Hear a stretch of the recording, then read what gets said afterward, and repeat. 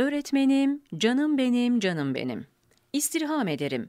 Böyle çirkin, böyle provokatif bir sözü marif ordumuzun isimsiz neferlerinden bir ferdi vahidin söylemesi mümkün mü efendim?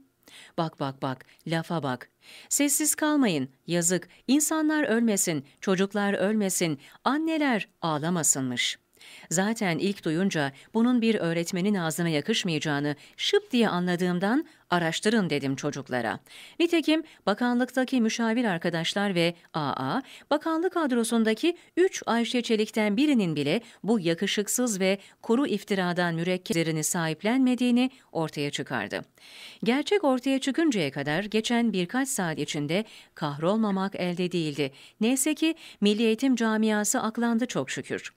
Efendim, ideal, vatansever bir öğretmen böyle şeyler söyler mi? Öğretmen dediğin milli birlik ruhundan bahseder. Çiçekler, otlar, kuşlar, dereler, dört işlem işte bu gibi olumlu konularda öğrencilerini eğitir ve gerisine karışmaz. Biz bunlara bir de tonla para ödüyoruz üstelik. Duyunca alnımdan vurulmuşa döndüm ayol. Neyse ki olay aydınlandı da müsterih oldum.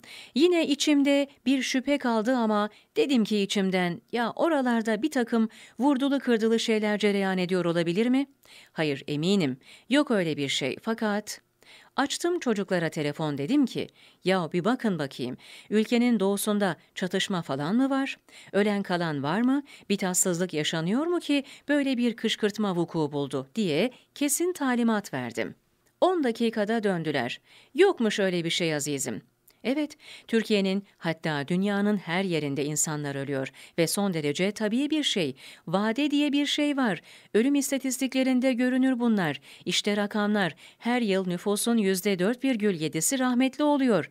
Ha bu çerçevede cereyan etmiş olabilir dediler. Nedir efendim? Kalp yetmezliği, asabi tansiyon vesaire. Çocuk ölümleri de oluyor bu arada tabii. Olmasa daha iyi ama oluyor.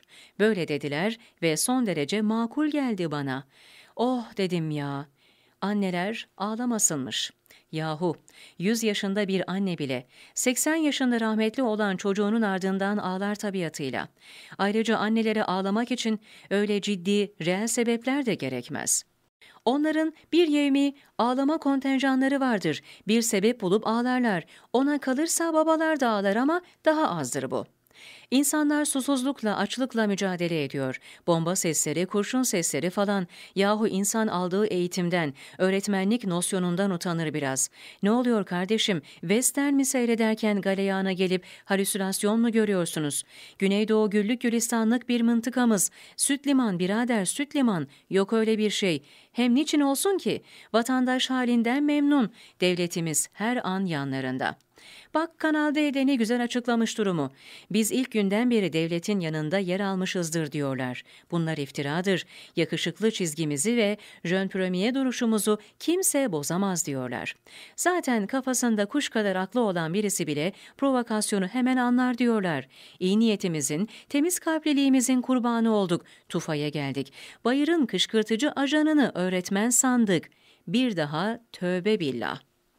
Zaten bunlar bir lay lay lom ekranı. Hem ben kefilim şahsen. Temiz, işinde gücünde milli bir televizyonumuz. Bir ara bir ant vardı bunlarda. O biraz kontrolü zor biriydi. Ardından Cüneyt diye çapraz birini getirdiler. Beyefendi verdi zılgıtı, verdi zılgıtı. Şimdi kuş böcek belgeseli çekiyor. Düzeldiler yani. Aferin. Ha bunların bir de amiral gazeteleri vardı. Birkaç çıkıntılık yapacak oldular. Ayarı yiyince şimdi çok tatlı şeyler yazıyorlar. Okurken bir gülüyorum bir gülüyorum. Tatlı çocuklar netice itibariyle. Milli ve yerli basın böyle olur. Takdir etmemek mümkün değil yani.''